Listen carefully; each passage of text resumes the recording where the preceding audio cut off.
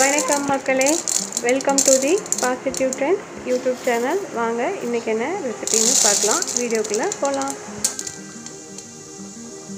கறிவேப்பிலை துவையல் எப்படி பண்ணுறதுன்னு பார்க்கலாம்.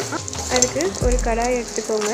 எண் எண்ணெய் ஊற்றி எண்ணெய் சூடானதுக்கப்புறம் உளுத்தப்பருப்பு கொஞ்சமும் துவரம் பருப்பு கொஞ்சமும் சேர்த்து நல்லா பொன்னிறமாக நல்லா வறுக்க விடுங்க.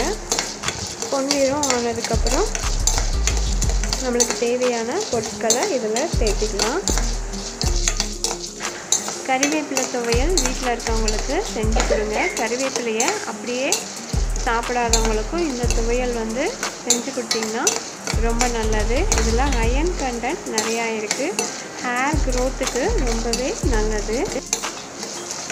இது தோசைக்கும் இட்லிக்கும் சாப்பாட்டுக்கும் கூட சைடிஷாக யூஸ் பண்ணிக்கலாம். சாப்பாட்டுக்கு ரொம்பவே நல்லாயிருக்கும் இந்த கருவேப்பிலை துவையல். இப்போ ஓரளவுக்கு பொன்னிறமாக வறுத்தாச்சு. இது கூட நான் ஒரு பெரிய வெங்காயம் நல்லா கட் பண்ணி வச்சுருக்கேன். அதை இது கூட சேர்த்திருக்கேன். ஒரு அஞ்சாறு பல் பூண்டும் கூடவே சேர்த்திருக்கேன். உங்கள் காரத்துக்கு தகுந்தாற் போல் நீங்கள் வர மிளகாய் சேர்த்துக்கலாம். சேர்த்துக்கிட்டாலும் சரி இல்லை பச்சை மிளகாய் சேர்த்துக்கிட்டாலும் சரி நான் இப்போ வர மிளகாய் தான் சேர்த்திருக்கேன். இதை எல்லாத்தையுமே நல்லா எண்ணெயிலேயே வதக்கி விடுங்க. ஓரளவுக்கு வதக்கினதுக்கப்புறமா புளி ஒரு சின்ன நெல்லிக்காய் அளவுக்கு புளி எடுத்துக்கோங்க.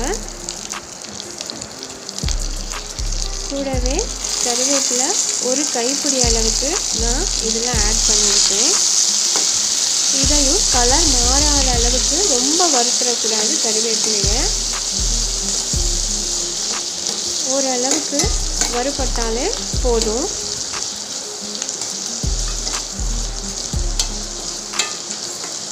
இதுக்கு தக்காளி சேர்த்துறனாலும் சேர்த்தலாம் நான் வந்து இதில் தக்காளி சேர்த்தலை தக்க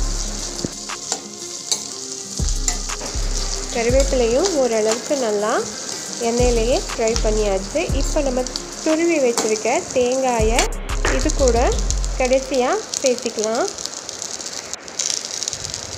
லஞ்சுக்கு பேக் பண்ணுற மாதிரி இருந்தால் தேங்காய் வந்து பச்சை வாசம் போகிற அளவுக்கு நல்லா ஃப்ரை பண்ணிக்கோங்க. இல்லை நம்ம அப்பத்திக்கப்போ வீட்லேயே சாப்பிட்ற மாதிரி இருந்தால் தேங்காயை போட்டு ஒரு ஒரு நிமிஷத்துக்கு ஃப்ரை பண்ண உடனே எடுத்து துவையல் அரைச்சி எடுத்துக்கலாம். இப்போ நான் இதை லஞ்சுக்கு பேக் பண்ணுறதுனால ஒரு ரெண்டு மூணு நிமிஷத்துக்கு தேங்காய் பச்சை வாசம் போகிற அளவுக்கு இந்த எண்ணெயிலேயே நல்லா ஃப்ரை பண்ணிக்க போகிறேன் இதெல்லாமே நல்லா இப்போ ஃப்ரை ஆகிடுச்சு அடுப்பு ஆஃப் பண்ணிவிட்டு இதை ஆற வச்சு எடுத்துக்கலாம். ஆறுனதுக்கப்புறம் நான் இப்போ மிக்சியில் அரைக்க போகிறதில்ல நான் கல்லுலேயே அரைச்சி எடுத்திருக்கேன்.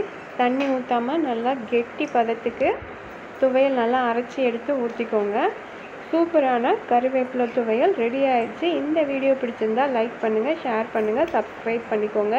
மறக்காமல் பெல் பட்டனையும் கிளிக் பண்ணிக்கோங்க.